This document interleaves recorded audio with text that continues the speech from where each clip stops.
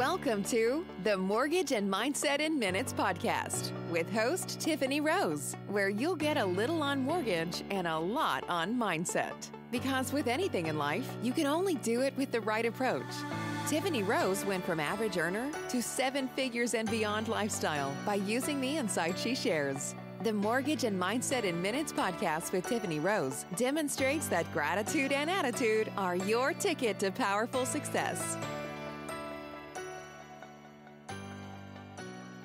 Hey, everybody, this is Tiffany with Mortgage and Mindset in Minutes. And it's been a little bit since I've done a podcast, and I wanted to hop on and do this with my good friend and uh, accountability partner, Nance Ciasca. Hi, Nance. Hi, Tiff. How are you? So glad to be here. Yay. So, uh, Nance is a certified holistic coach. She's a spiritual mentor. And like I just said, she's also my accountability partner, even though she's in the spiritual coaching health realm and I'm in mortgage. It's so great to bounce ideas off of each other, come up with common goals. And our business model really is the same, even though it's different. So uh, I love working with her. And uh, she happened to ask me some questions um, over the course of maybe the last month here and there about my business and buying a house. And I figured we'd just record this uh, to share with others because I'm sure if she has a question, uh, a lot of other people that are potentially going to be homeowners or are homeowners want to know this information too. So are you going to fire away with me now? I am. Okay. So um, I am in my early 50s and we, uh, my husband and I, for the past 10 years, haven't bought a home. We rented. We moved from New Jersey to Utah, so we didn't really know where we wanted to stay. And now we're in Nevada and we like it here. And we want to, you know, plant roots here. But it's been so long since I've been, you know, in the process of looking for a home or even a mortgage. And I want to start at the mortgage end because there's been a lot of mishaps in our life where we don't have a lot of finances like we used to. And I just want to know where to, well, first of all, I think it's really important though. I want to make sure you and I would be compatible to work together. So, what makes your loaning, your lending, your way of doing service a little bit different than everybody else's? I know for sure that what changed me uh, for the better was the crash of 2008, how much I learned from that. And how much I've always cared about my clients, cared about people in general. I like to think that I have the a huge heart that I want to do everything for everybody. Sometimes it's even a fault. You and I have talked about, you know, my my people pleasing. I I tend to take it to the to the fullest there. So um, I've always cared about my clients, but I know in 2008 when I started calling homeowners because back then a lot more people had landlines and not cell phones as much and numbers when you'd call to see if people wanted to refinance, it was disconnected. And that was heartbreaking for me to really realize how many people were foreclosing, right. selling, moving, going back to renting. I really realized that my career was so much more important than I even known before 2008 because before I just thought, hey, it's work. I love my clients, it's work. But now I'm like, I never want to see that happen again. So I coach my people like no other on making sure they don't become house poor, making sure they budget correctly and think about the daycare and the new tires and the things that we don't underwrite into that loan. So that's how I make sure that I'm compatible, not only with just you, but people that have those fears. And, and well, that's and- awesome because I have owned several houses before. I, I just don't have it in the past 10 years. And I can remember that the loan officer was just like, oh, yeah, you can afford this. And I'm like, and then once we got the loan, it was like, yeah, I can afford it, but I can't afford to eat. You know, like I can't afford everything else. I love that you just said that, that you factor in all the different aspects of finances, not just here's the mortgage, you can afford that.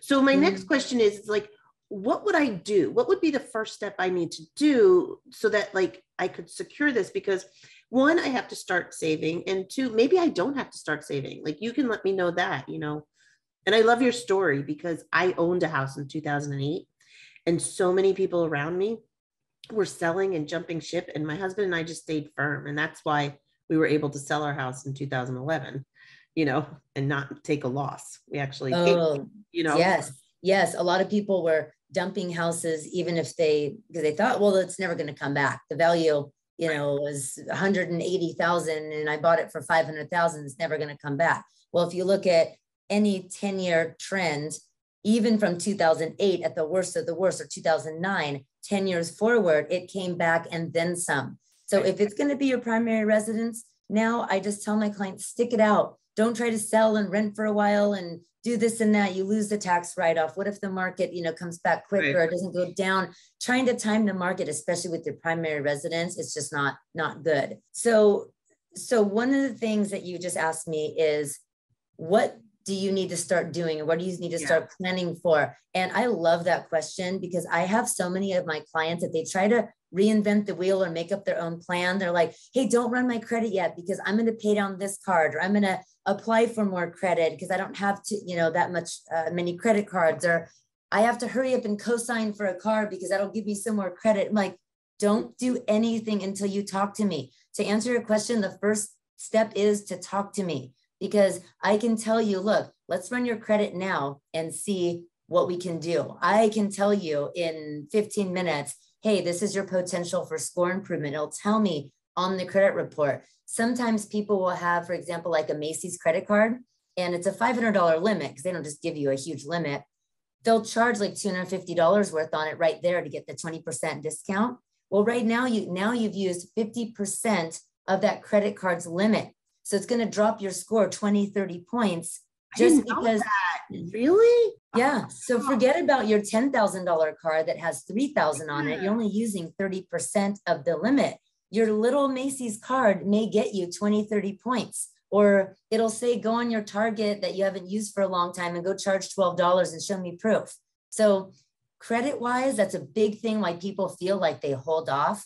And I do feel like it's a little bit of procrastination. Like, okay, I don't have to think about it until I'm able to pay off my credit card. So people tend to, I just listened to another podcast the other day that people procrastinate on certain things because it's the feeling that comes along with doing that task. It's the stress that comes along right. with it. So, so in my situation, we don't have credit cards. Okay. In 10 years, 10 years ago, we just got rid of them. I just okay. recently, well, I do have a Firestone and I have a Kohl's. I mean, little ones, and I don't really use them too much. Firestone only if you need tires and something. And then I just recently got a um, Amazon credit card just because I, I kind of felt like I did run my credit and it was okay. But I do, one of the downfalls I think is that because we never, we didn't have credit, we paid everything off. We paid cars off, we paid this off, we paid that off. You know, sounds good on paper, but realistically, I don't think that's the best, you know, too it's like I said, it could be fixed very quickly. So right. once I run your particular credit report, I can tell you, hey, here's what you need to do. We can do it in a week and right. have, have the action item done and done in most uh, cases. So in your case, if something like cash flow is an issue, if you're wondering how much money do I need down, that was kind of one of your questions, yeah, right? True, yeah. So again, I hear people say, Tiff, call me in six months because I'll have $38,000, I'll have $50,000 saved up by then.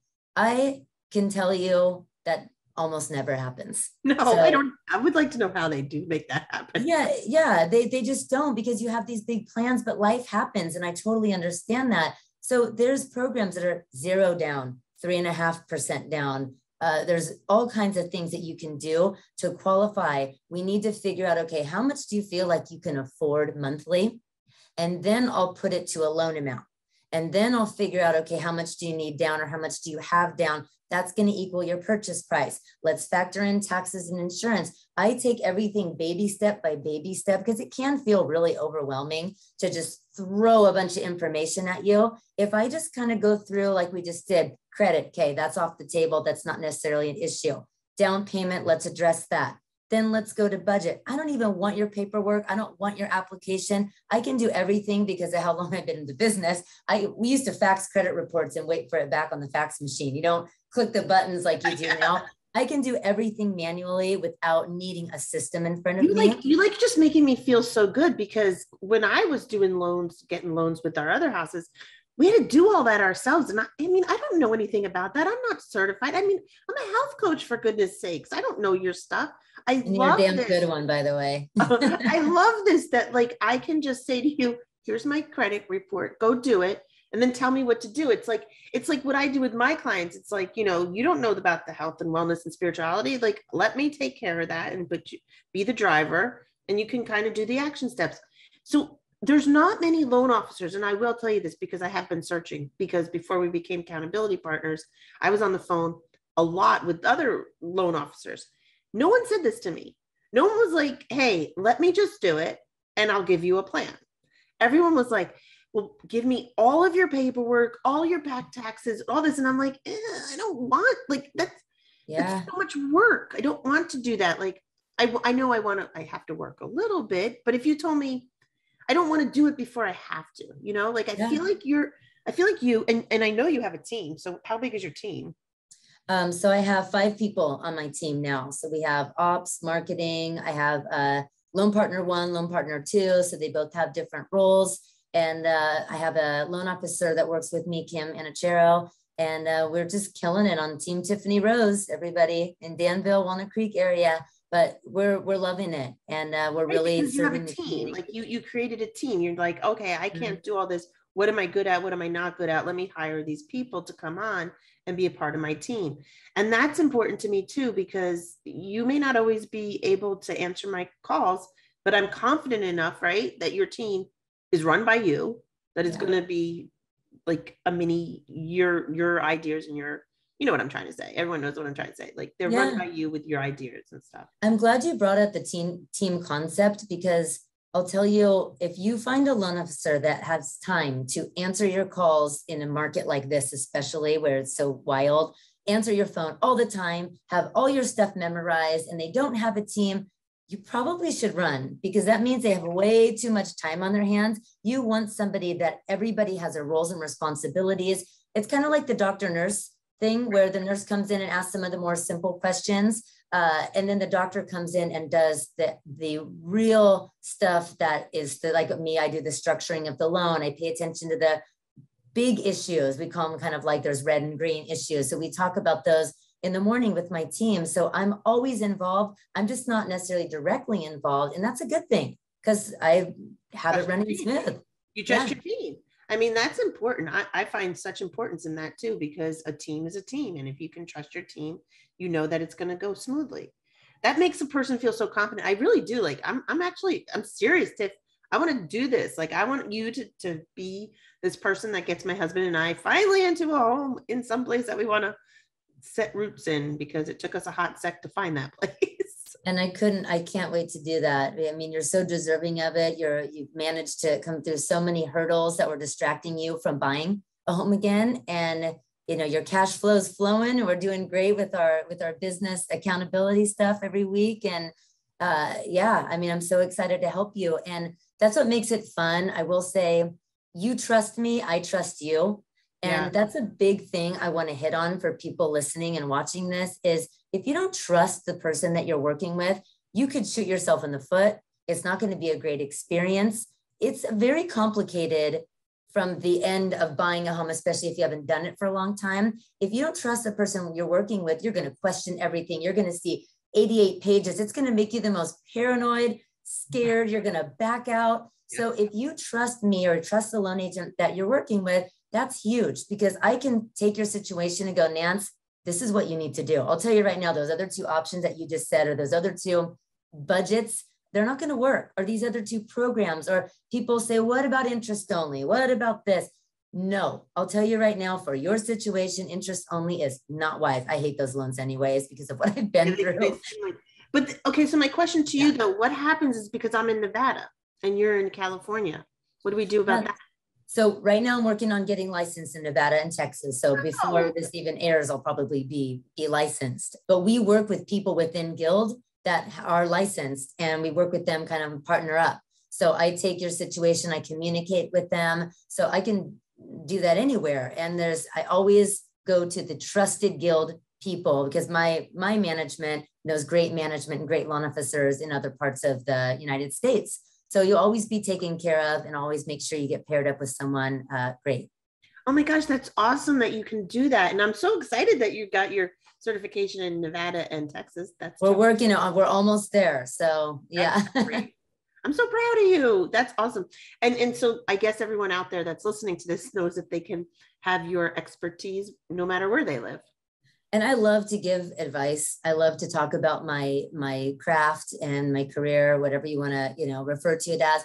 it's so fun to me. So I don't care if you're like, Tiff, I want to buy a house in Philadelphia. I just had a client yesterday that, that texted me if I do homes for their, their rental property out there. I still want to go through the numbers, right. pull up the estimated interest rates, make sure they're doing the right thing. Because I'll tell you, some of these loan officers, it's just like any career. You can get somebody that they go, What do you want? It's like, well, you, sometimes the client doesn't know what they want or what's good for them. So I want to guide those people and then give them a plan and they can go to a loan officer of their choice. But I love talking about what I do. It's so fun to me. I could talk about it forever. Our, um, our friend who has is building a house out here, he's like, it's ridiculous. Now's the time. It's like now's the time you want to wait. What did I can't something to like Borrowing it's so cheap. Money. It's so cheap to to borrow money now. And I was like, what does that mean? What's yeah. That? and a lot of people, I'm going to interrupt you there because you reminded me of something that I really wanted to touch on. A lot of people go, well, let me call my CPA or let me call my financial advisor and see if I should pay off this house when I when I get this inheritance. Or let me tell you, your financial advisor is not going to want you to liquidate money or not invest it with them and pay off your house. Your CPA doesn't understand the way the principal and interest and all these things work the way that I do, you'd be amazed. You know, you really have to be careful who you go to because, yeah. like I said, if you don't have the right financial advisor, you're going to say, What do I do with this $600,000? Pay off my house or invest it? They're going to say, Don't pay off your house, invest it. So when you go to someone like me who really understands more than you would even think about the CPA side, the financial advising side, and my side kind of cumulatively, uh, it's really good to start with a experienced loan officer. And of course, I can't technically advise on those other arenas, but I can work numbers a lot better than a lot of the CPAs that my clients go to for advice. So, right. So it would make sense to start with you and then absolutely. go backwards. I mean, you're thinking it's backwards, but it's probably forward. But you know, most people are told, "Oh, go." You know, I hear that all the time. I got to talk to my lawyer. I got to talk to my CPA. It's like, no, let's talk to your loan officer because that's where it's going to start and even people that get a divorce I, people don't come to their lender first to find out what's the smartest way to take cash out and pay off my spouse how much will the payment be instead they either put it on the market and sell it now they're both renting or they both lost the house that the family lives in that the kids have to be uprooted from or they start arguing not knowing the numbers and they start not paying the mortgage and now by the time they go to a divorce attorney they've shot their credit so the divorce attorney calls me and says, Hey, is there anything I can do? So yeah, the don't I need to talk to my lawyer first, talk to a mortgage lender about maybe there's some way to amicably split up the assets to where it makes sense. So that's a great point you just made too. And that's you can speak to that because didn't that basically happened to you? it happened to me, yeah. And you know, and it, and it worked out. I didn't want my kids to move out of their house that they lived in. So we worked it out where I bought a new house. They got to stay in their house. You know, I got paid off some of the equity, and uh, we neither one of us got ruined credit. But it's because I'm in the business, and I knew not to go to a lawyer and just start because when lawyers dig in, some of them they'll make people fight. They could ruin a deal faster than anything, and your credit's shot. So, yes, that yeah. is a very good point. Oh my gosh, Tiff, I'm hiring you. You're hired. I love it. As you know what? I love talking to you about it and I love your questions, but I'm so happy that we got to do a little bit of Q&A just you know to help people that if you have this question i'm sure a ton of other people do and again borrowing money right now is so cheap and it's just fun to at least sometimes like nothing ventured nothing gained just asking the questions and having a 15 minute conversation is so important. It could change your life. Well i just want to tell everybody out there this we did not plan this. This was off the cuff. And uh, it just because this is our accountability time and tiff's like hey why don't we just record it? And we're like okay. Yeah.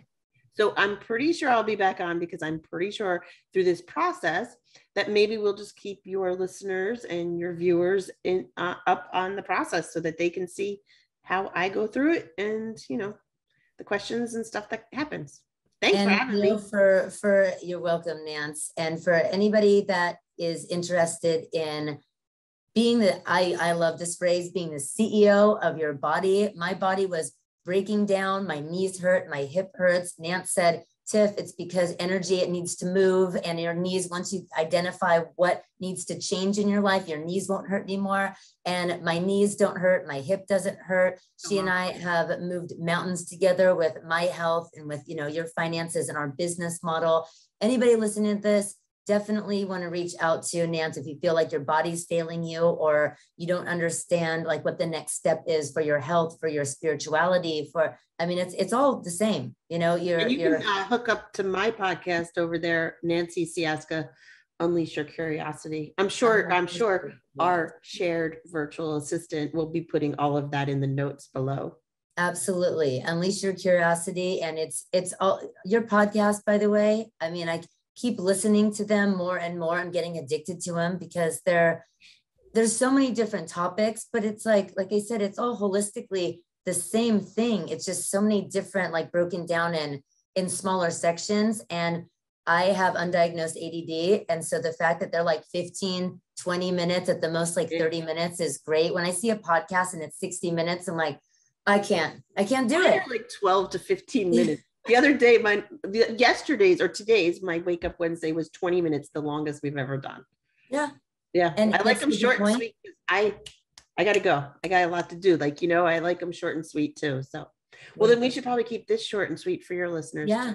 Yeah. I was about to say that I have, yes, we're busy people, but you reminded me we have a full life.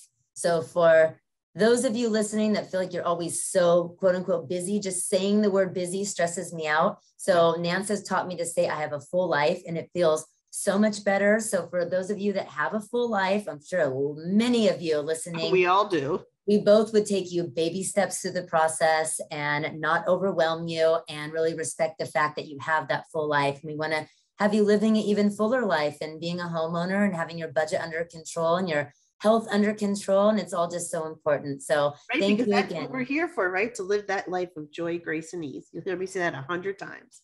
I love it. You even said it in your radio voice like you do I on your did. podcast. Joy, grace, and ease. Thank you, everybody. Make it a great so day. much. Thanks, Nance. Bye. Tiffany Rose is the author of the best selling book, The Universe is Speaking, available on Amazon. Tiffany has a gift just for you that will help you line out daily goals for creating your ideal universe. Go to TiffanyRoseFreeGift.com and also subscribe to the Mortgage and Mindset in Minutes podcast. Tell your friends and family about Mortgage and Mindset in Minutes with Tiffany Rose. Thanks for listening.